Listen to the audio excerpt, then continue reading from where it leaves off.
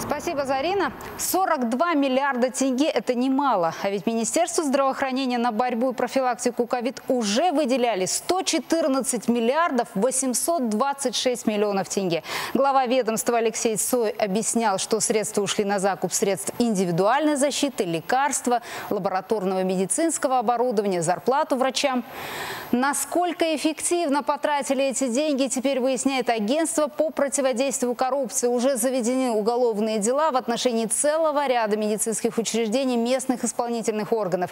Если правительство в этот раз поддержит главу Минздрава и выделит очень нужные для спасения жизни средства, как сделать так, чтобы они не осели в карманах некоторых чиновников? Поговорим об этом с экономистом, директором Центра прикладных исследований Рахимом Ашакбаевым. Добрый вечер.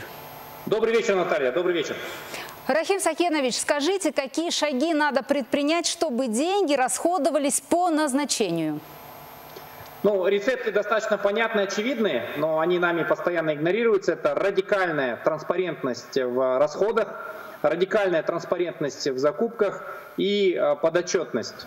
Э, к сожалению, вот наш исторический опыт, особенно по линии Министерства здравоохранения, говорит как раз наоборот, что мы все время эти ключевые принципы, принятые во многих развитых странах, э, нарушаем. Вот для примера, э, в Минздраве очень долго реализовывался проект по передаче технологий проведения институциональной реформы в секторе здравоохранения, который должен был подготовить страну к реформе ОСМС. На него потратили свыше 46 миллиардов тенге. И, соответственно, сейчас момент кризиса, мы видим, что, к сожалению, плодов этой реформы нет. Вот контролирующие органы, как мы заметили, реагируют только после того, как проблему выносят на суд общественности. Так случилось и с должностными лицами ВСК «Фармацея». Может быть, нужно создать какой-то народный контроль из числа активистов? Я думаю, что это хорошая идея, и в том числе по линии антикоррупционного ведомства у нас есть специальные мониторинговые группы, так называемые СМГ. Э, нам необходимо повысить транспарентность вот самих процедур закупок, э, для того, чтобы не только какие-то выдвиженцы из числа народного контроля, активистов, но также и широкая общественность, э, пресса, журналисты проводили журналистские расследования и выясняли. Вот, допустим, на сайте того же СК Фармации, если вы посмотрите закупки с начала года, я думаю, что там будет очень много интересного, когда закупаются определенные оборудование, либо препараты, возможно, по цене выше, нежели чем это можно было бы купить в тот момент на рынке. А как вы считаете, нужно ли ужесточать ответственность для коррупционеров в период пандемии? Ведь каждый украденный тенге – это чей-то шанс на выздоровление.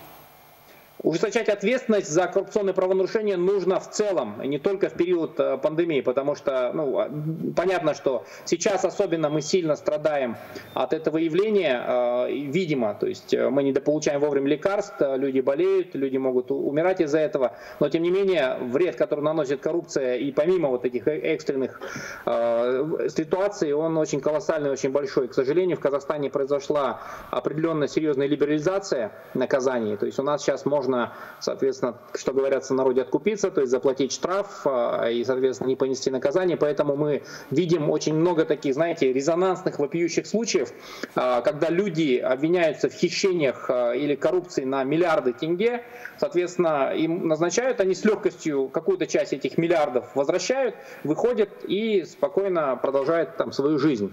Спасибо. С нами на связи был экономист Рахим Ошакбаев. Всего доброго.